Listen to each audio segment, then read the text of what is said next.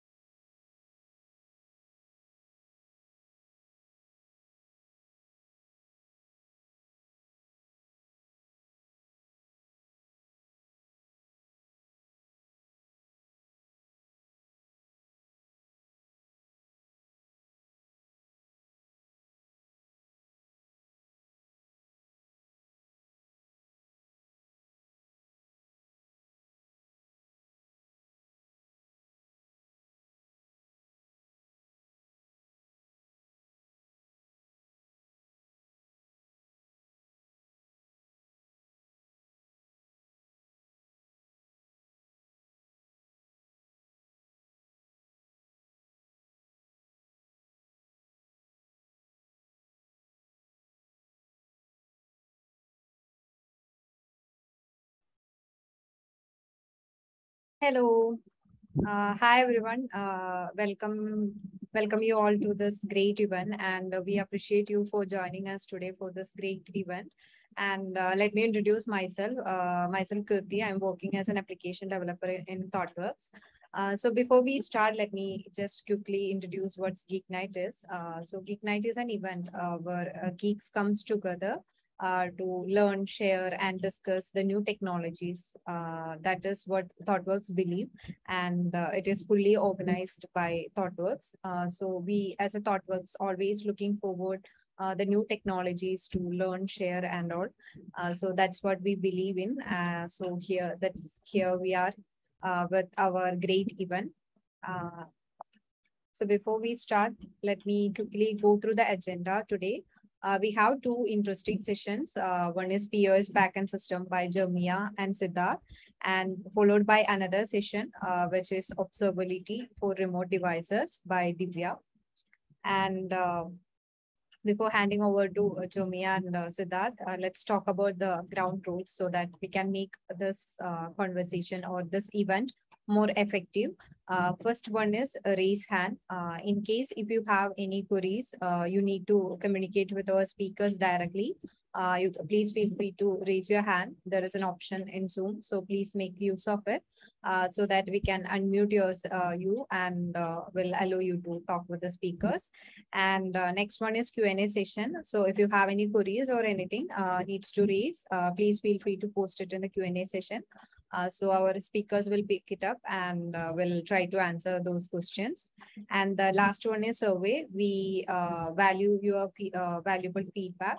Uh, so after this uh, call, I mean, after this webinar, uh, we will be sending a survey to you. So please feel free to post your thoughts and valuable feedback there. So please make use of this raise hand Q&A session and survey so that we can make this even more communicative.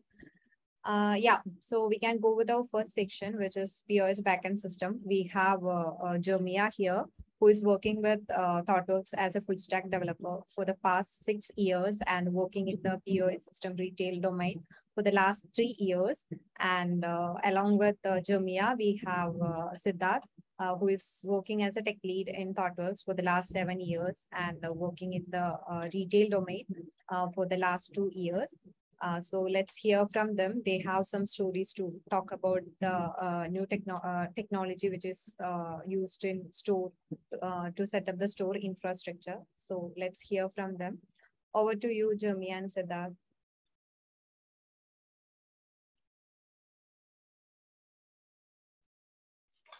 Thanks. Uh, yeah. Good, Jeremy.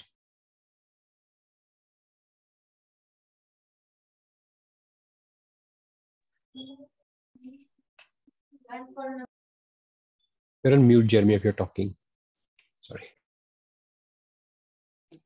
Uh, sorry, thank you. Yeah, uh, let's start. So uh, we are all aware of POS, right? Point of sale. So uh, at least in India, uh, this term was actually introduced by all our supermarket chains, Reliance, uh, Big Basket, and all of them. So uh, with that, we have at least an understanding that uh, we will, we might, our journey to a store might start with a newspaper advertisement, right? So there we will be seeing a lot of offers uh, or a lot of combo offers and loyalty offers. And with that, we'll we might be sticking to a particular chain supermarket chain and we'll be visiting them on a frequent basis and we will be going there and we will make sure that whatever products that we purchase are actually um, uh, we are actually getting all the offers possible there. And uh, uh, we are making sure that whatever experience we are getting there is worth it instead of just ordering it through uh, online. Because most of the time when we make an online purchase for some of our household goods we we will always have uh, not, just for household household good any item that we purchase right? We always have a, a feeling that uh, if i go there and physically see the item i would get a more uh, rather better experience there. And i can be sure that instead of some other person on behalf of me taking an item i'm the best person who can take it. So even in this era we can't uh, we can't uh, we can't actually uh, the the the importance of stores really, uh, really there. So the digitalization of store and the need of stores to uh, be available itself is there, even if there are e-commerce business and any number of mobile apps are available. So um, in point of sale, uh, one of the one of the main imperative from the business itself has to be that the customer who is coming to the store should come next time as well. So there shouldn't be any hiccups on the on their, um, let it be on the cat, uh, catalogs, uh, how they are actually going to display the items, or even if it is the last place where they actually do the checkout and get the receipt and make the payment and leave the store. So uh, if you take this example, the checkout journey, the final POS, right, point of sale, that is the exact place where the customer uh, scans their items, uh, and get a bill and they pay for it and they leave with their shopping bag happily in the store and probably they will definitely come back if the experience was good. So that about the POS uh,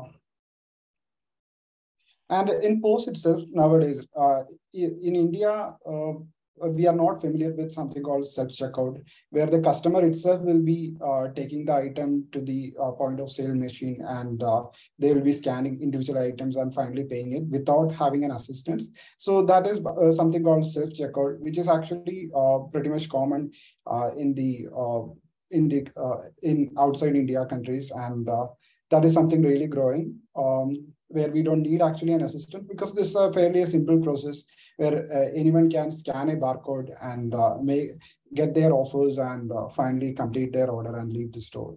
There are multiple types of POS available. Uh, another example I can think of would be uh, something like a handheld device uh, where some of the store operators would be holding them in the aisles and whenever the customer wants a quick checkout without waiting in the self-checkout machines or assisted checkout machines, they can uh, show the item and they will have a handheld device which would be scanning their barcode and uh, quickly finishing their payment through a wallet app or uh, by paying through cash and they will be leaving the store. So these are some of the varieties of POS machines that we have come across uh, during our development with uh, our clients. And uh, yes, that about POS. Uh, coming to one of the recent uh, recent uh, movement towards labeling, right? Uh, we uh, we also heard of this this term electronic shelf label. So if you are familiar with, if you go and um, go and visit any supermarket, we can see that on top of every item in the shelf, there would be a label which will be saying its current price or its offers and things like that. But one of the main restriction of this particular kind of labeling in those shelves was in case of any changes on the price, right? So prices are something which would uh, keep on changing uh, because these retailers will definitely have more offers they can provide and they can provide uh, with uh, because they would be get, they would be getting it uh, they will be getting it in a bulk quantity so that they can definitely provide more offers. So the prices is something they would keep on changing and offers something they are keep on bringing. And uh, by having a label for a large retail shop would be too difficult to maintain. Uh, they they have to actually maintain a lot of uh, uh, lot of store operators itself for maintaining it. So some uh, one of the recent uh, movement towards this is the trend towards this labeling is actually to use an electronic shelf label. Uh, this electronic shelf label actually uh, would enable, it's actually made of, initially it was made of uh, normal LCD screens. Later, it actually moved towards uh, more energy efficient uh, e-ink display solutions, where um, ink, one of the advantage with the e-ink solutions was um, once we render anything, we don't need any power to retain what it is rendered there. So it's only about whenever there is a change, we we have to we have to update the display and uh, that display itself will retain that information as long as we uh, there is the next update coming there. Um, so here we can see that for the e display, there are three parts. One would be the display point, display, how we want to display the information in the display. Second would be how we want to update this information. Uh, generally, what they would, they would, there are solutions which would be able to manage the ink displays in the in the store itself by providing a, a floor plan to this kind of kind of uh, uh, solution and uh, generally uh, providing an update. It will make sure that the event events are reached to the uh, displays and uh, updated properly. And the third part we can think about the ink display is actually the application layer where we actually hold the data for it in the day in the way we actually want to which is efficient to manage this data for the ink displays Mm, yes, uh, that about the electronic shelf label. Um, any queries or questions on uh, MPOS or ESLs?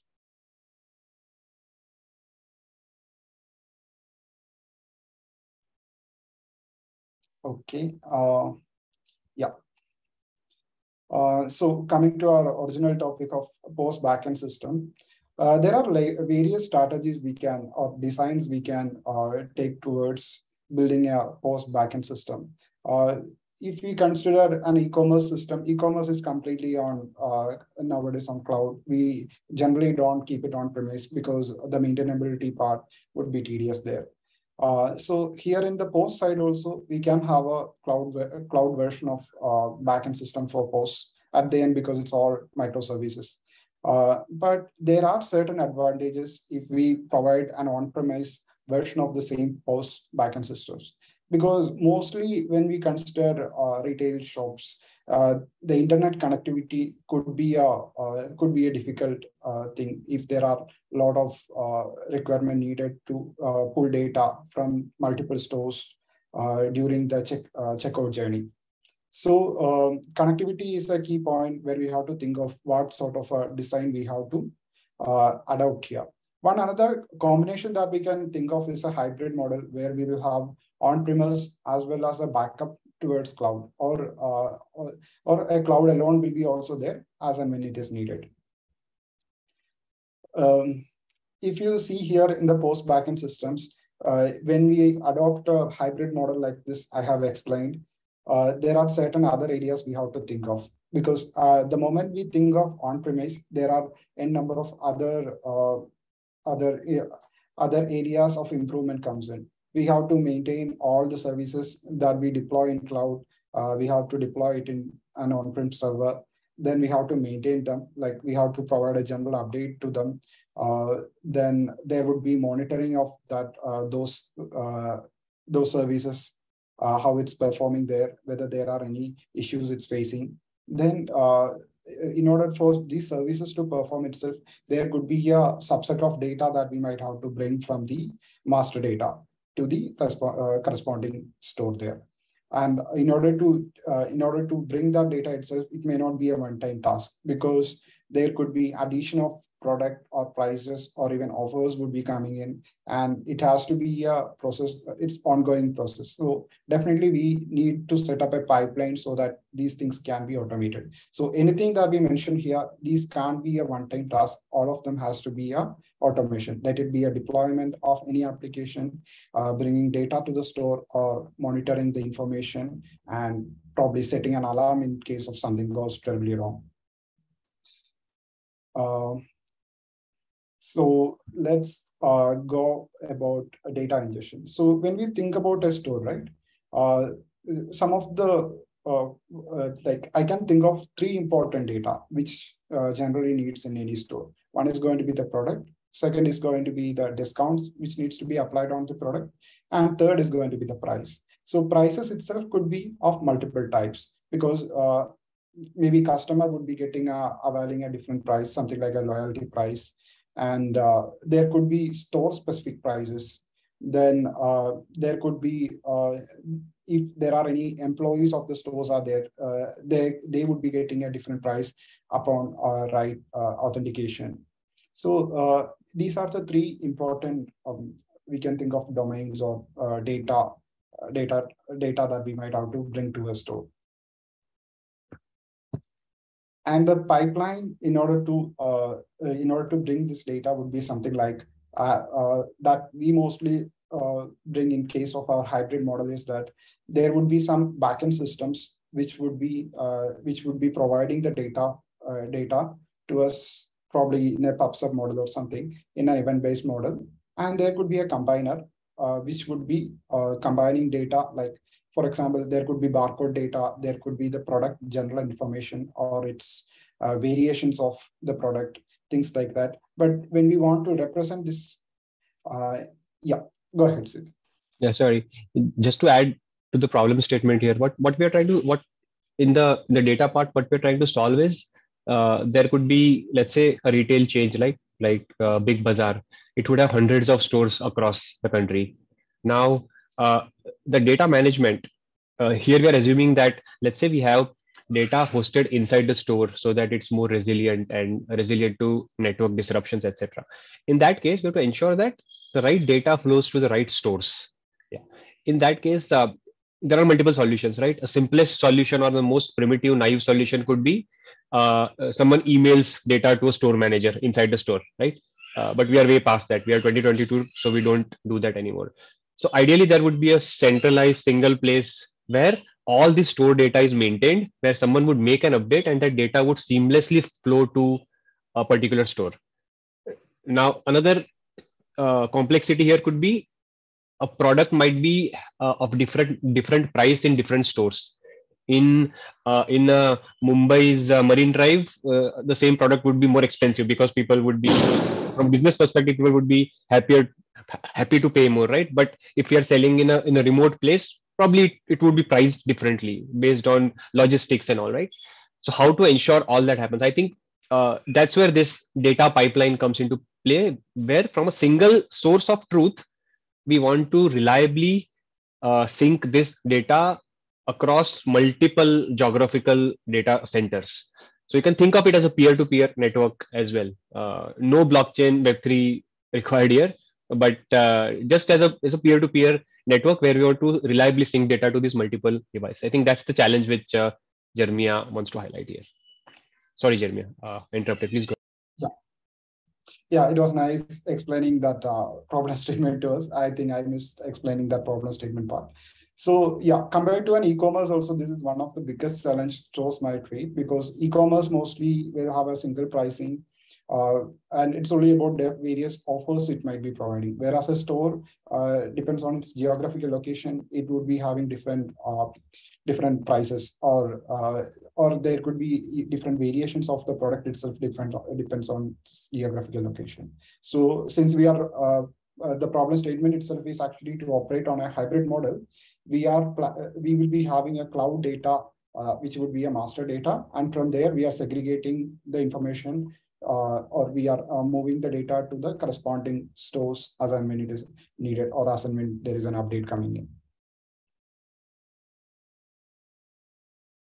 Uh, once we have the data there, uh, the customer would be able to efficiently do a checkout with the on-prem uh, on-prem service with the checkout journey. And after the order creation, uh, the challenge would be to uh, make sure that the data which actually generated from the store actually moves back to the um, original or the uh, what we say that the master data. So we, we might assume that the cloud version is the master data master database that we may have to hold. There we will have all the information. So in that case also, so whichever stores actually creates an order, it needs to be there in the master data so that later when we have to uh, generate any report or when we have to do any reconciliation of, uh, of the order or when we have to return an order, it would be much easier instead of have instead of pointing out the individual stores to bring the data because uh, we need a centralized information so that uh, it is much easier. It is it will be much safer also. Uh, if something goes to the so store also, they will always left with one master data for us. Um, and so, uh, sorry, just to add, yeah, I think I think this is important because um, the lines between e-commerce or let's say uh, a, Flip, a Flipkart or something and a physical store like a Big Bazaar or something, these lines are blurring, right? For customer, it needs to be seamless. I buy something from uh, a big bazaar store uh, and I want to return it. If I can help the customer not come come back to the store uh, and treat it as an e-commerce order and just collect it from their house, I think it adds to a better experience, right? Similarly, let's say I buy something from e-commerce, uh, but I can ship only till tomorrow. But the same item is available in a big bazaar store like 100 meters from my house I'm using Big Bazaar a lot. Uh, it, nothing, no affiliation, but yeah, uh, basically that the lines are blurred, and hence it's important that all data, uh, whether it's the master data or order creation or anything, it's it's present somewhere centrally where it can be managed across stores, across stores, across e-commerce, across all uh, avenues possible. I think that's where the the reliability part of it is very very important. Yeah, uh, I can put one more example where I I was really happy to see uh, such kind of re, uh, uh, report, uh, such kind of data moving towards cloud is uh, cloud is happening. When I was making an order, uh, when I when I had made a purchase in Adidas, one of their retail stores. Later, when I actually opened my application with and logged in with my mobile number and email ID, I could see all the loyalty point which got added up due to the purchase I had made in the physical store. And with that, when I made a second purchase using the application, I was able to avail all the points I got from my first order. So these kind of uh, flexibility of uh, flexibility to towards uh, user, right? So with this, actually, we are making an ecosystem where the user is actually sticking towards one uh, one particular uh, business. So uh, after seeing such sort of a thing, I was like a bit hesitant to uh, because I have that much of a uh, loyalty point available in this particular seller. Now, if I go for another seller, I have to actually make another payment and uh, probably I may or may not get an offer there. So better I stick with this seller. These kind of things would be really helpful for the business in, uh, in order to grow in their aspect as well. Um, the second part of this thing that we can see is since uh, we are talking about a hybrid model, there could be always uh, challenges that in order to um, reliably sync the order data back to the uh, cloud, right? There would be a number of issues uh, uh, because these may not be happening on a synchronous way. So order would be completed, but a customer left the store also. But at that point of time, there could be chance that the uh, internet connectivity wasn't available. So something like of a, a job, we, a batch uh, batch processing system we can set up, which would be keep on checking uh, the on-prem servers database to see whether the information has been synced to the cloud data or not. If not, it can always make sure that this information has been synced. So uh, these are some of the uh, things that we have made sure in order for uh, this data to be synchron uh, synchronized in a level fashion. Yeah, coming to the next part where, uh, where one of the major challenge or one of the biggest challenge where we have to face was when we had uh, to deploy all the microservices which needs the backend systems to perform needs to be deployed in the store servers as well because on cloud, as we are very much familiar with the pipelines in probably in a GitLab environment or something, uh, we will be setting up the pipeline. We will create a tag and we will we can easily set up the uh, deployment. When but now when it is coming to on-prem servers, we have n number of on-prem servers depends on the number of stores we have.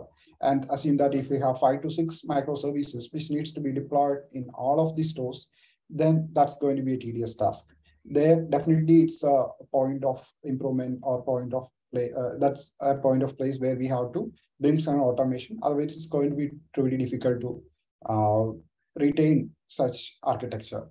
So um, one of the uh, one of the solution that we brought here, or one of the solution that we currently have is um, we will have a Docker registry where we will have all the images available and published. And uh, we have certain services which would be pulling, uh, which would be operating on a push-based or pull-based uh, approach and bringing those images to the on-prem servers uh, Kubernetes clusters. And uh, it would run efficiently there. And as and when there are updates, we have uh, we can have UIs and app special specific services which could bring these kind of images back to the servers and keep them updated there.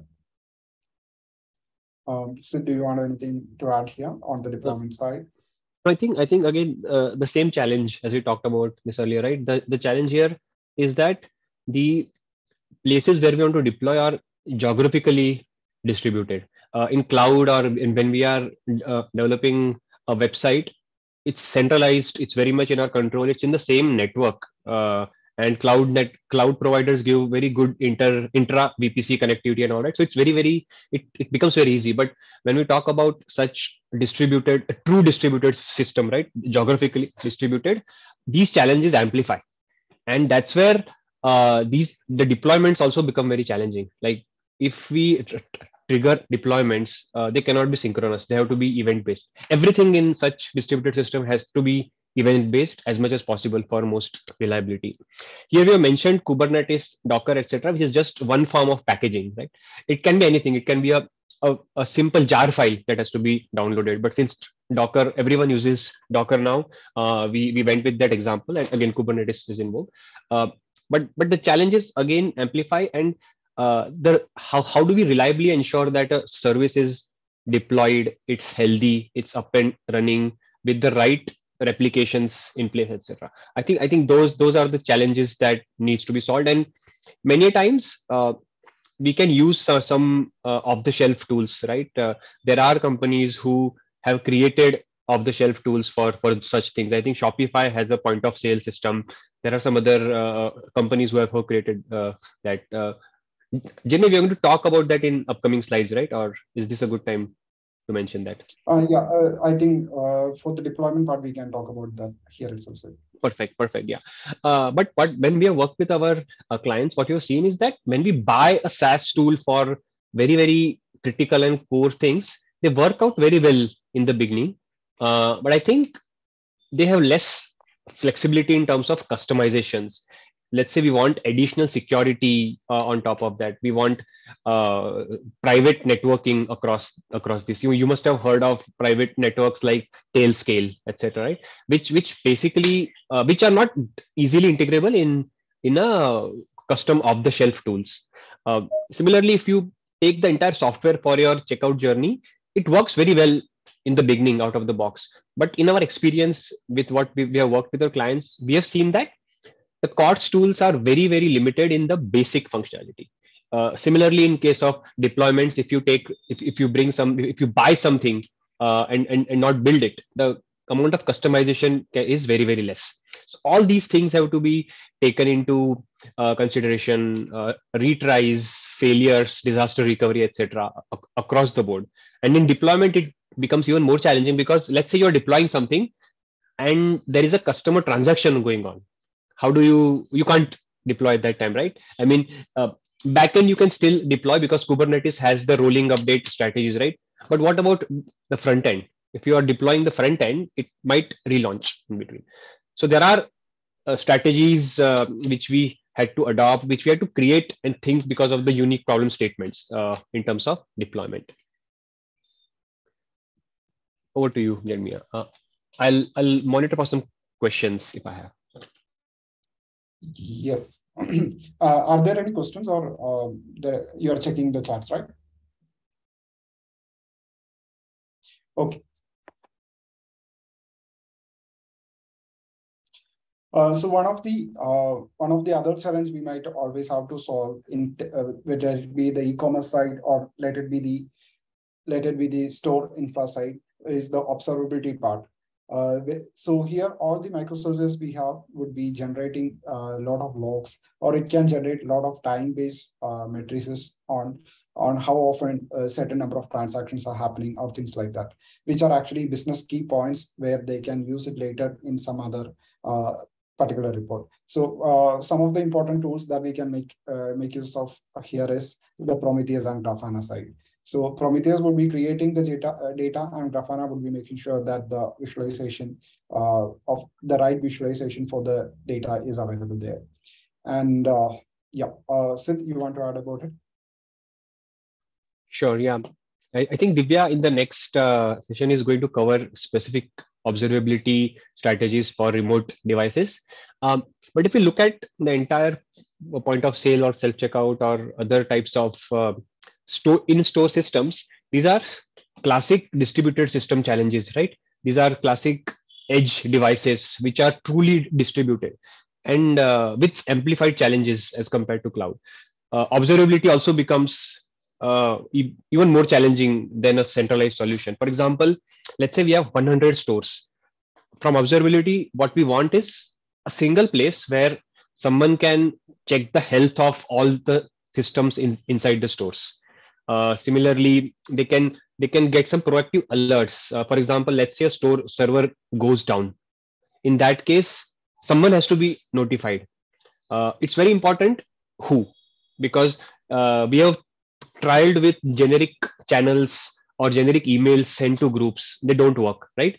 So uh, tools like Prometheus, Grafana, Alert Manager, etc. Uh, Thanos is a tool which is built on top of Pr Prometheus for for longevity of the metrics because Prometheus out of the box is doesn't scale very well uh, uh, for a lot of metrics being stored. But but yeah, there are tools available. The idea here is uh, what metrics to capture because there are standard metrics like whether a service is up or down. Uh, then there could be customized metrics like an event which happens. For example, customer is trying to make a payment, but it fails uh, it fails once it fails twice. At what time do we raise an alert and to whom? Which what are the right channels right? So all those things become very very important. And because these are distributed across the stores there has to be an aggregation to a central location. We, we cannot ask people to log into each store and check uh, individual uh, metrics right? Because these metrics have to be aggregated and compiled into a some sort of a uh, uh, we have heard about 4K metrics, right? So that aggregation should give the health of overall stores, uh, all the hundreds of stores that someone have, and different levels of uh, people in an organization. For example, if I am a tech lead on a project, I might be interested in some specific metrics. If I am a CTO, I don't want to know whether my store in Mumbai in this area is doing well or not. I want a much higher level view of uh, the, the the stability of the stores. If I come to know that okay, one store went down for one hour, a tech lead would freak out, but a CTO probably will say okay. But if it happens across ten stores, it's a different. So so the target audience, uh, the aggregation of these metrics, how to do. Uh, similarly, log aggregation because logs are developers' best friend, right? And if there is an issue, we don't want to SSH into a store and uh, check the logs. It's also security risk. So what kind of tools we use? For example, uh, Fluentd is one such tool which aggregates these logs across various stores. An agent runs on each of the on-prem things and it aggregates into centralized location. A Splunk, uh, Datadog is a new and upcoming uh, startup which shows promise in terms of aggregating all these things across distributed systems. So all these tools uh, help a lot. Uh, Divya in the do attend next uh, session by by Divya. She covers all these things into a lot more more uh, details. Any any questions uh, so far, folks? No, Siddharth, we are good. Okay. Uh, yeah, Germiya, what do you? Sure. Thanks. One of the other key area where I have seen the observability is uh, in terms of um, optimizing our uh, infra as well. So uh, sometimes we would be overestimating how much of a resource we might need to run some sort of some services, and later we might get to know that okay, compared to an e-commerce experience, a store may not need a lot of uh, resources in order for successfully running it running it. So having the right observability metrics will definitely give us the chance to understand on what uh, on what duration to what duration we need uh, or uh, arrive at the right numbers in order for our um, in order for our architecture to perform at its best. So that was also one of the key area where I uh, where, uh, where we, have seen that the usage of this was helping us. Um, yeah, uh, with that, uh, we are coming to the last session of our generic session. Any questions so far?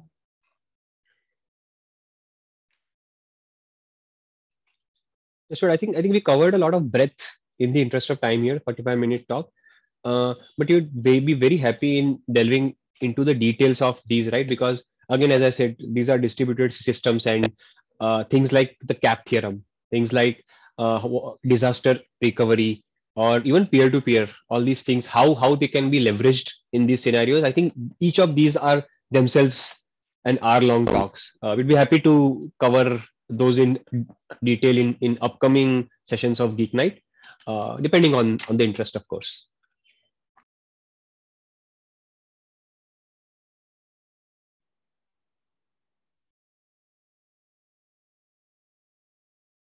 Uh, so one of the other thing that we have observed with our client is compared to an e-commerce, if something goes really ro uh, wrong, right, there is only logs or alert which would be saying something is going wrong. Whereas if it is a, a, point of say, if it is a store, something is going wrong, there could be definitely a store operator or uh, there is a customer who is standing in inside the store which is facing this issue. So if it is an app, the customer can come back later at their um, at their uh, sweet time and uh, reopen it and see. But here it's a store. If something goes really wrong, and if we can't uh, do a DR at the disaster recovery at immediately, we might even lose a customer uh, immediately, uh, like uh, if this happen often in a store. So that is some of the other challenge. We have to make sure that the experience is always on par with the uh, e-commerce or the other experience that we can provide there.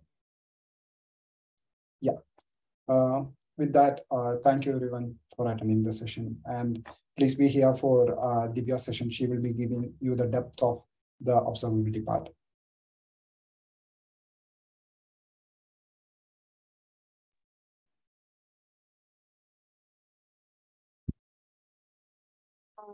Yeah, thanks Germiya, thanks that uh, for that session. It was very informative. Uh, so if you have any doubts, uh, please feel free to post in the Q&A session so that they can uh, answer it later also. So yeah, let's go to next session, uh, which is about the observability mechanism for the uh, remote devices. we have Divya here.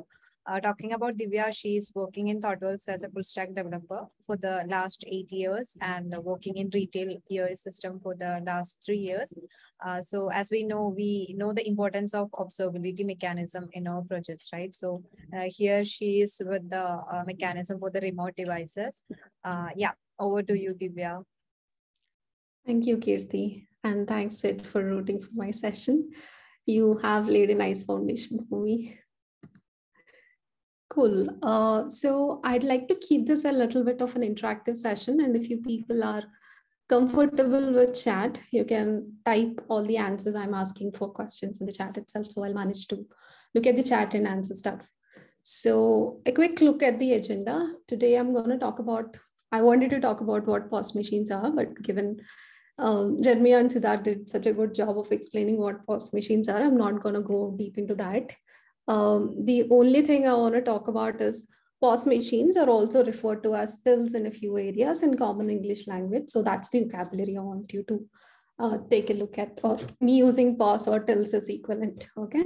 So my session is about observability, but you wouldn't see the word in the agenda. We'll get to why in the consequent slides.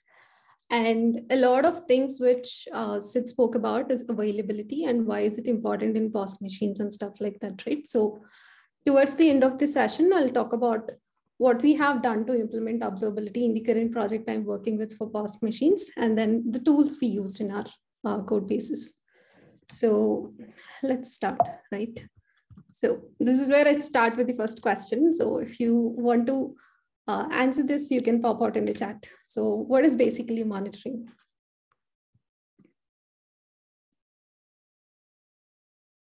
Sorry.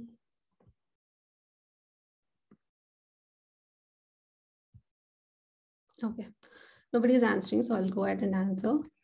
Um, basically, monitoring is something which will tell you what is broken and why is it broken, right? Um, so Um, now, and this can be done only with a bunch of data. Now, we are collecting a bunch of things as a part of monitoring, which is basically in terms of logs, um, metrics or whatever that is. And how do we use this data, right? The data you use for collecting or doing monitoring, right?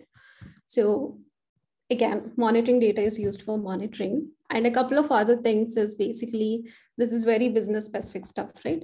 Reporting, visualization, and dashboards. So basically you want to have like a business report of how many transactions are going on in my POS machine globally or at a store level or for a device type and stuff like that, right? So these are the kind of information you look for. And the third thing is you want to alert when something is going off. So that's what the monitoring data is used for, right? Now, what is alert?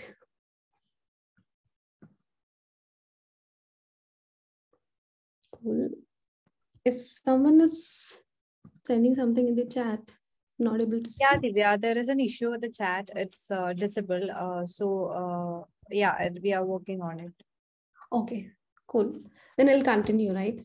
So Yeah, a thing is nothing but a notification that tells you that something has gone wrong in the system. Now, a notification can be anything here, right? It could be an email in your inbox. It could be a pager if you're talking about a medical system when something is of most, most important, right? It could even be a ticket in your queue if you have a queuing mechanism for answering incidents and stuff like that. So alerting is basically nothing but a notification which is telling you something has gone wrong.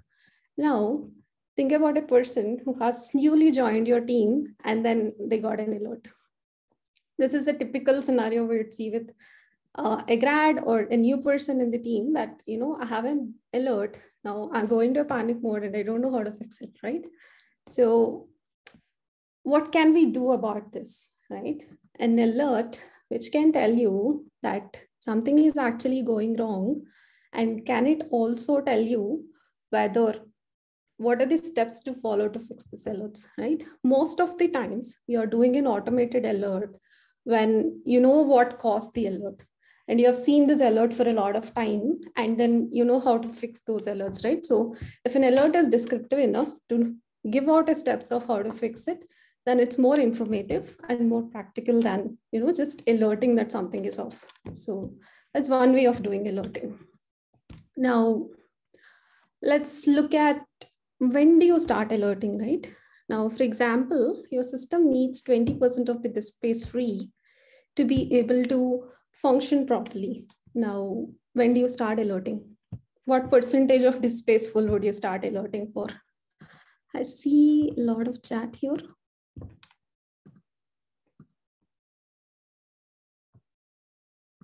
One second, I'm trying to see chat. Okay, there is stuff in the Q&A session. Notify, okay.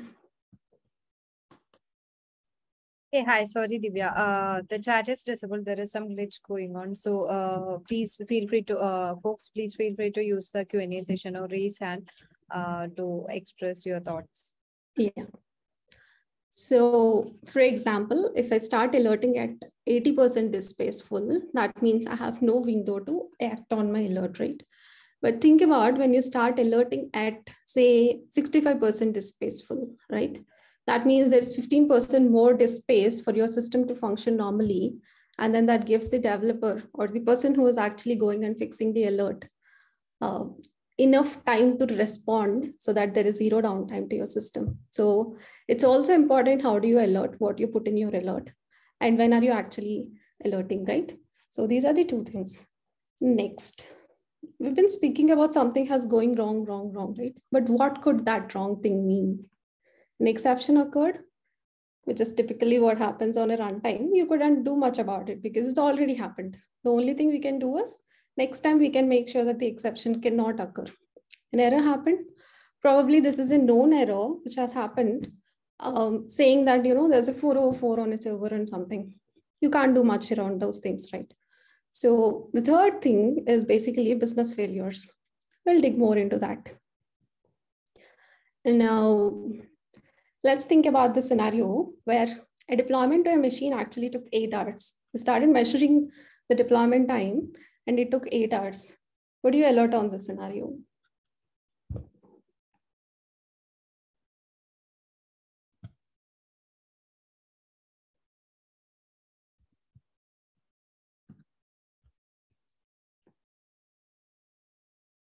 Okay, no answer so far. Jiva has raised her hand. Let me allow to talk. Yes, go ahead. Uh, can you come up with the question again? I missed that question part. Oh, sorry. I'm doing.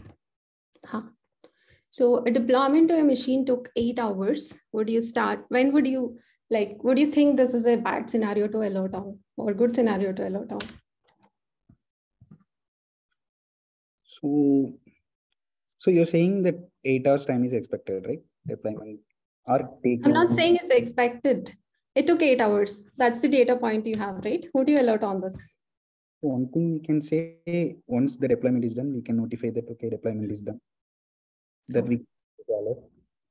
Okay, so somebody says probably due to high deployment time, we can alert. Okay. Um, let's look at another scenario and we'll get back to this question. Okay. So the second thing is uh, there is an ecosystem. Let's think of it as a cluster of servers where 20% of your servers are always offline. Um, would you alert on this?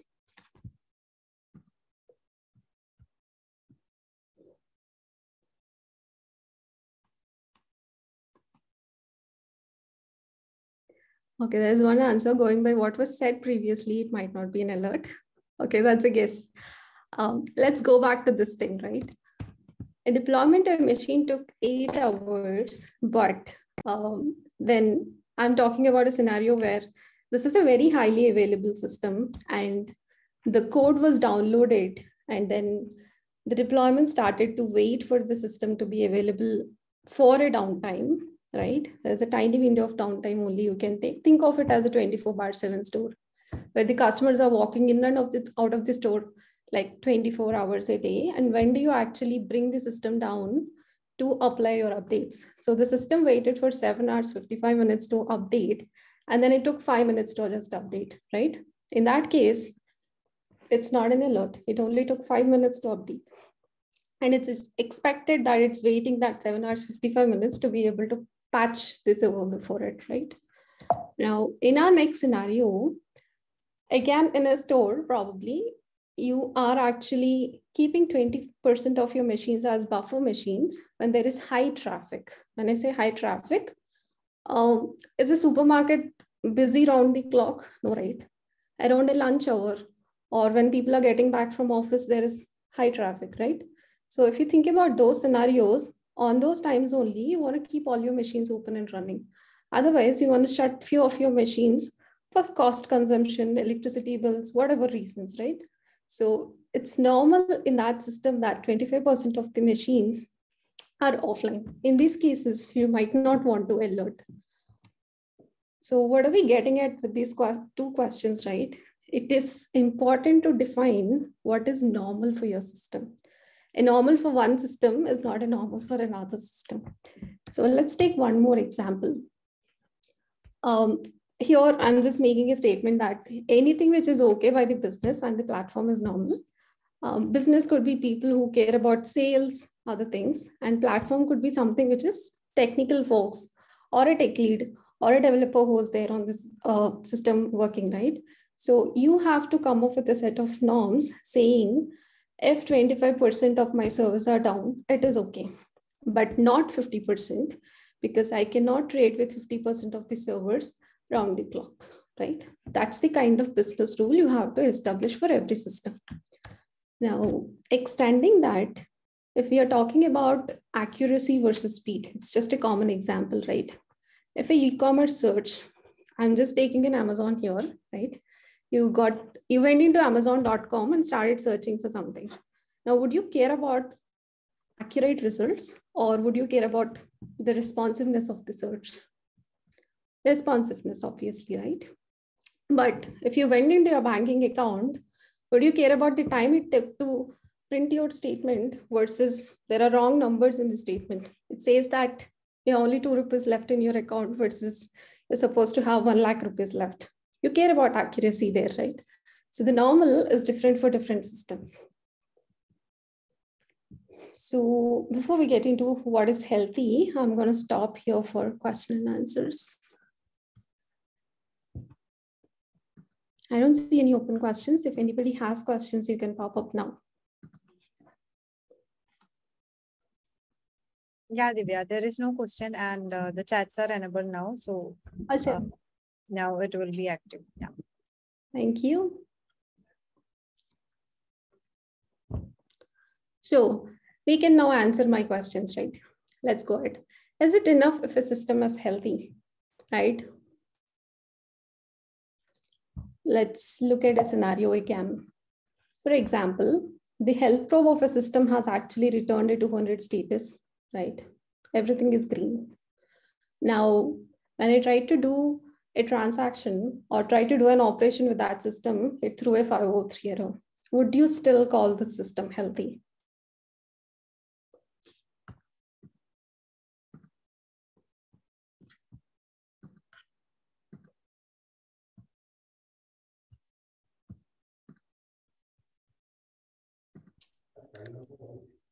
No. Okay, No. Oh, okay, that's pretty obvious. So let's move to our next thing, right? Mm-hmm. Extending that, an e-commerce platform, I'm taking Amazon here just because it's known for everybody. I'm not saying Amazon is bad, okay? So you're trying to place an order, the order got created and the payment has failed. Would you say the system is completely available here? Might be. Depends, right? Yeah. So I would call this a partially available system, right? So what's common in both these questions? We are not just talking about boundaries of the systems, right? we are not saying the system is healthy, not healthy in a binary level. We even care about whether the action the system is supposed to do, which is the internal state of the system, is healthy or not as well, right? Now, that's what brings us to availability, uh, observability, sorry. Observability is basically, depending on internal state of the system, you should be able to derive some external outputs and say that my system is healthy, available or not. So that's what observability. So that's the definition, but let's dig into a little more things, right? Um, so far I said that observability is not mentioned in the agenda, but why observability can exist on its own or why not observability cannot exist on its own?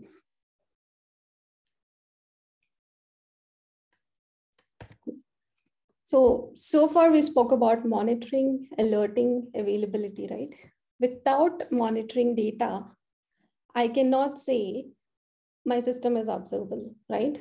Without logs metrics i cannot say anything because there is no data collected for observability.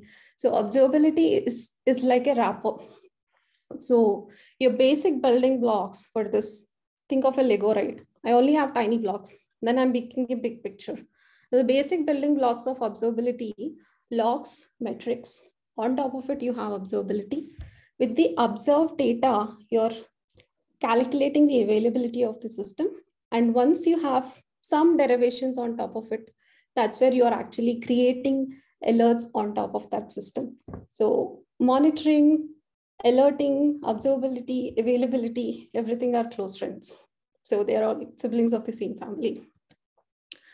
Now, again, another statement, a system can be called more available when I know it's more observable, right? If you go back to the same example of Amazon, if I know that my payment service is working, a probe to the payment service is actually 200, then I'm 95% sure that given other glitches, that my order is gonna get placed, right? Now, without that information, I cannot say with 100% confidence that just looking at the health checks, my system is available or not. So that's why we say a system is more available when we can observe that system. Now, a little bit on the monitoring data, right? We've been speaking about this, logs and metrics. Logs are self-explanatory but metrics are a new concept to the industry. Now let's talk about what are metrics, right? So metrics are basically numeric formats of data, uh, which are very tiny, tiny and as we all know, the business loves numbers, right? Now, can metrics be enough to, you know, measure, monitor, alert, anything? No, right? Say I have a temperature of 104 degrees and that's just a metric. So temperature number 104. But why my temperature number is 104? That cannot be done by a metric. That cannot be explained by a metric. Your temperature is 104 degrees because you have a fever. So you should have some backing data to be able to explain why that number is there. So that's why logs and metrics are both important for an observable system. So metrics generally tell you why, whether something is good or bad, but why cannot be told by metrics. And a good system which is observable is capable of telling you why something is bad and what caused it. Right? Cool. Uh, a bit of theory here, bear with me. So what kind of general metrics are, uh, are you looking for in a system, right? So this is coming from the Google SRE book. Okay, what they say is there are four golden signals you should go about measuring in your system always. All these four things are there. So latency, traffic, errors, and saturation. Latency is basically, um, take an example of a web server, which has a HTTP endpoint, right? You hit your HTTP endpoint, and on a 200 or a success scenario, it's coming back in 10 milliseconds. But on an error rate, or if 500 or 503 happened, it's actually taking 10 seconds to come back. What's causing that 10 second latency? There is something which is lying there, right? For example, in a failure scenario, it's trying to connect to a database and it's going into a retry loop and coming back later. So you should be able to understand based on that number why something is taking a lot of time. So that's latency. second thing is traffic. Say I have a HTTP endpoint again, right? How many requests go through my endpoint every day? 1000 per second, 2000 per second. But in the non-peak hours, there are only 20 requests per second. But when an error scenario happens, there is a spike of 10,000 requests per second. So it's it should be telling you that there is a normal threshold, but there is a spike in that threshold when something has gone wrong. So you should measure traffic always, right? The third thing is error rate. Now, we all know errors happen all the time, but how many requests are erroring out? If one request in 1000 requests is erroring out, that's 0.001% error rate. But 500 requests of 1000 requests are erroring out, and they are coming back, retrying to the system again and again, causing more error rate, more load. So you should be tracking how many requests or how many errors per second or request are happening. So that's the error rate. Now, the last thing is saturation. First three are very self-explanatory, but saturation is a bit tricky to measure based on the system you have. Saturation is basically telling you what is the load your system can bear. You can relate to it as a load test. Say, for example, you have a performance environment. You're going on hitting your um, endpoint like 10,000 times in a concurrent manner, and it has failed at 20,000 requests per second right? But at that 20 point, uh, 20,000 requests per second, there is some spike which will be happening in your system. A load on the CPU or RAM is choking or network IO is high. There is some symptom which causes, right? So that symptom should be actually put as a bare minimum or a benchmark and then measure your system to say at this point I break down. So beyond this, I cannot take any requests. So that's one of the signals you have to measure. Any questions on this?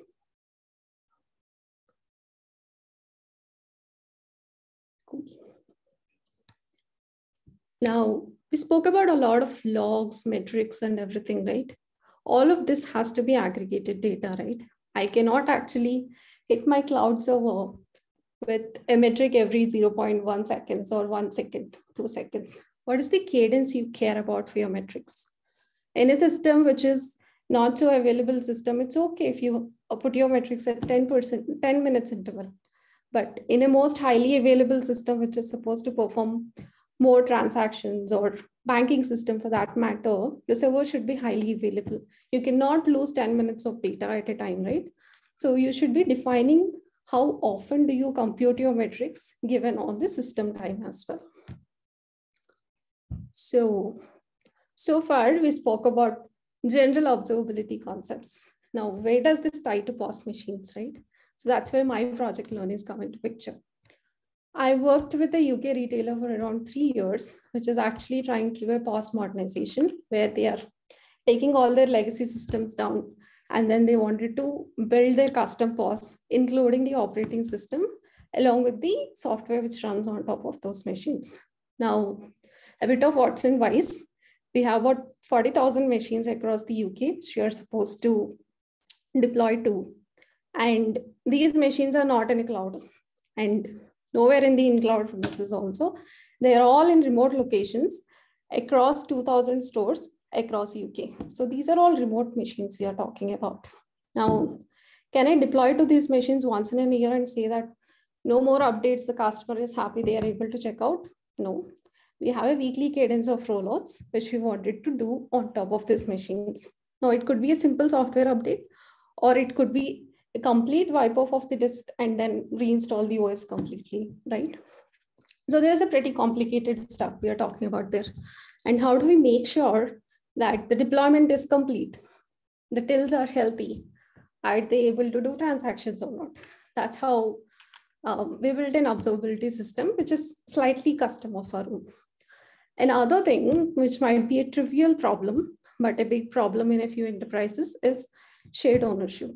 So the operating system, along with software I spoke about, the software is composed of 30 different Docker containers and developed by 30 different application teams. Now, when a production incident happens, you always go into this game of finger point at each other, saying that it's your issue you figure out, it's your issue you figure out, right? How do you draw boundaries between this is this application team's issue and this is this application team's issue? There also logs log aggregations. How do you define your transaction flow? All these things actually make a lot of sense, right? So that's the shared ownership problem we, we land. Um, a bit on schema, right? I'm directly jumping into schema here, but basically what we tried doing is instead of a simple health check probe we spoke about in the Amazon example, we started defining our health is a business health check. It just doesn't say my system is healthy, but it also tells me whether my system has all these capabilities up and running or not. For example, the machine here is a POS machine or a till, right? The resources here are CPU, RAM, the common resources all these containers share. The services are the bunch of Docker containers I'm talking about. And the other things are basically the till should be connected to a network to be able to talk to other systems and stuff like that.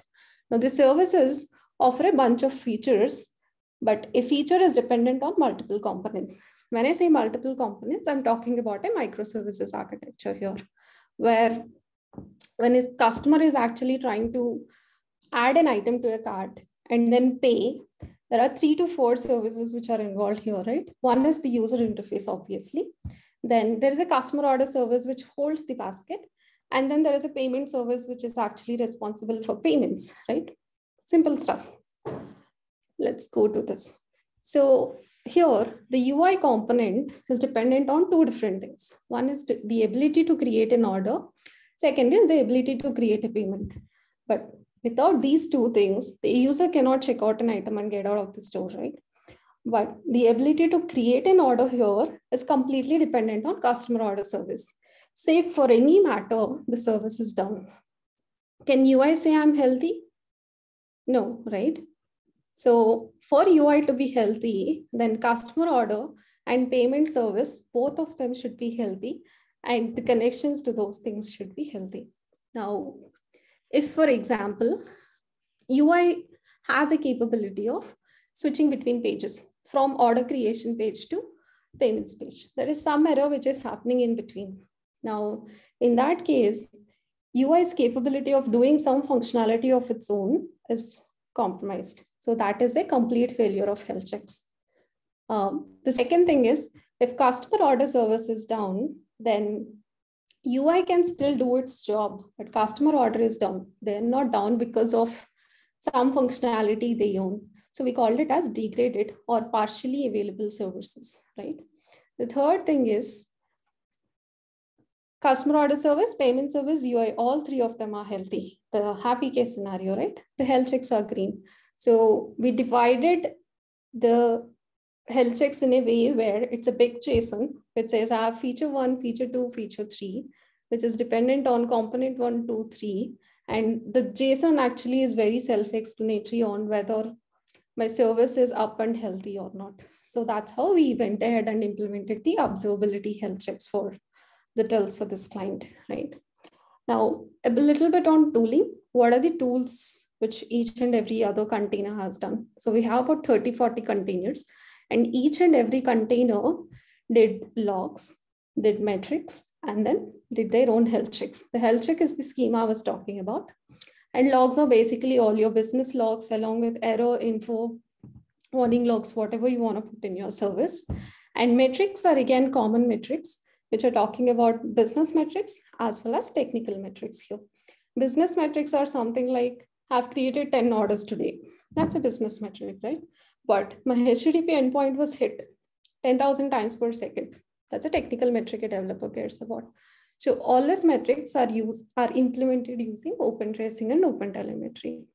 And we had Prometheus container, which is running as a client on each and every one of these machines. And that is reporting to a central Prometheus server with Grafana as our reporting tool. So that's how we have done this. That ends me to my presentation. Any questions?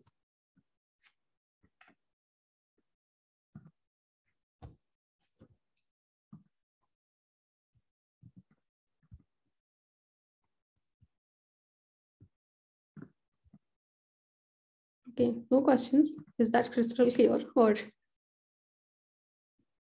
Okay, somebody raised a hand.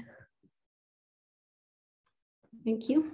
Go ahead. Yeah, I missed the part of deploying these things, right? You mentioned it's these are all the remote machines. So how Mhm. have you managed to deploy to all the machines? Okay, that's another talk of its own. if I'm getting another slot at GeekNight, I'll tell you. But I'll uh, give an overview of how we have done it, right? It's a big architecture. Basically, what we did is um, we have three modes of deployments today. One is bare metals, when you have like a pretty new tool. And second thing is reinstalling a particular tool. And third thing is just patching a tool, right? Patching a tool can be anything. It could be just bringing down one version of a application and bringing up a new version of an application. That's one way. The second way is something on the operating system has changed in RPM package or something. So that's another type of patch which we have, right? So all these changes are actually bundled together and we call all the changes together as one change ID. So anything which changed uh, calls as something changed in your system and go ahead and do a deployment. So we have a bunch of cloud components which have the layout of, you know, one store has 10 different lanes and 10 different lanes are of type SSC, COASC and blah, blah. Uh, SSE, COASC are basically self-service tills or card-only tills and stuff like that, okay? Now, when we say uh, a deployment user can go ahead and schedule a rollout and the rollout contains two parts for us. One is a download of the software. Second is application of the software. Download can happen in the non-trading uh, in the trading hours, but rollout of the software only happens during the non-trading hours today. When rollout happens, we have one tiny component which is running on each and every till, which keeps track of what is the desired version I'm supposed to have and what is the actual version I have. And it's a diff deployment basically we do. Okay. Does that answer your question? Yeah, yeah. So on last question, how how long Mhm. it will take to do a deployment for all the machines? Uh, we have about 16,000 machines. If we are just talking about application or patching on the operating system, we finish that about in three to four hours. Uh, but if it is a reinstallation of the OS, it, it takes about a week or two because we schedule to a set of stores uh, on a weekly cadence. Like Monday, the stores have to go, Tuesday, the stores have to go. And based on that, it happens. And we also have something like a fail safe mechanism. If you have a batch of 1,000 machines which you want to deploy today, and the first set of 25% machines has failed, and there is a failure rate we have set, then we abort the rollout and figure out what has gone wrong, go back, fix it, and then roll forward. So it depends on how many errors happen the given rollout because most of the times the errors are because of the issues like network is not good in a store and stuff like that. So we have a state machine which tells us at what stage they failed and stuff. So that's also an observable system which we have. Yeah, sorry for another question. So is that deployment automated or someone is doing? Uh, the trigger to the deployment is manual. Think about uh, it as some team which is sitting in India who's triggering the deployment, but the machines picking up the deployment, everything is automated. The only scheduling part is manual. So because I choose what list of stores have to go in which deployment. Okay. Cool. Thank you. No issues.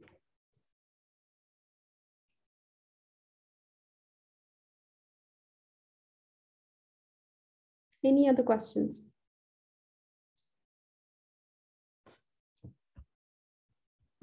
Cool. Thanks, everyone.